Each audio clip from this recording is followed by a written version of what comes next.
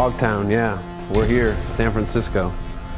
Uh, it's foggy here. We got a lot of fog, you know.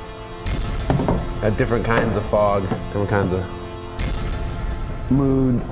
It's kind of almost like a cop out or a slang term. I don't know. I've, I've just been just going around lately. I've been saying it. My friends have been saying it. It's Fogtown, you know. It's cold out. Life's cold. It's Fogtown. What are you gonna do? So you know, I had to make a piece for it.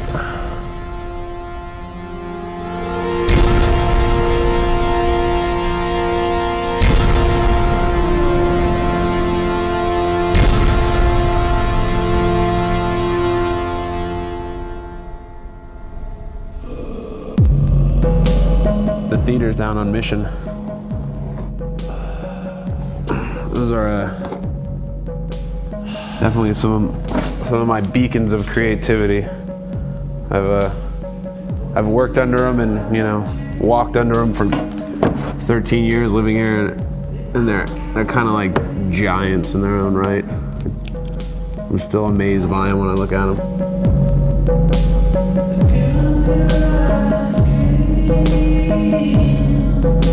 SF was a really magical place for graffiti and you know what people consider street art uh, in the early 90s and the late 80s.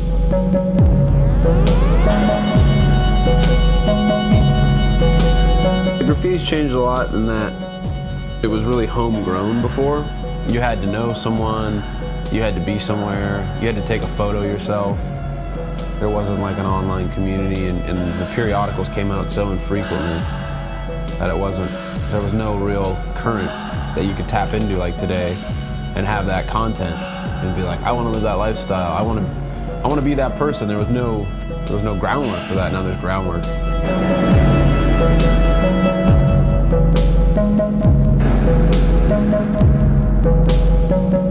It's a war paint. It's a, uh, it's kind of a, a lot of autobiographical work about what, what it's been like living in California the last 20 years and some of the images and, and, and emotions that it's instilled in me, you know, kind of through painting. You know, and I couldn't have done that kind of stuff without people like the Seventh Letter, who, who were the first people to ever take my artwork seriously beyond just graffiti. And, you know, the stuff we did on, on walls in California and in the streets, you know, just for enjoyment and quality of life and feeling like you were somebody when you didn't have anything. It was, it was definitely a thing among my friends. All those guys were the first people I, I traveled the world with and you know, got to do those huge group shows in Barcelona and Tokyo and Taiwan. It's cool, you know?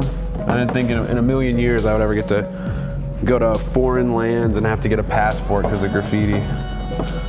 And that, that, all that stuff is due to the seventh letter, my man Eklips, and you know all the dudes that have been doing this movement and pushing it hard.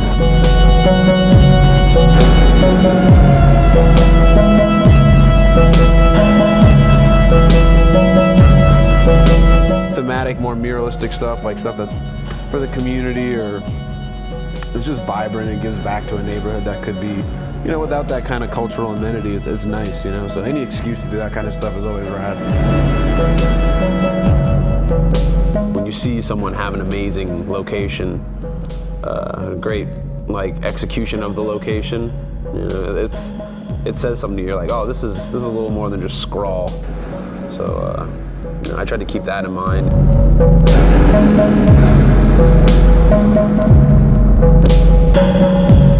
you know things are, are growing faster and the, the movement has got a lot of momentum and there's like a lot of hybrids of different ideas that there wouldn't normally be and out of that there's going to be some really really good stuff i'm sure to come in the next 10 20 years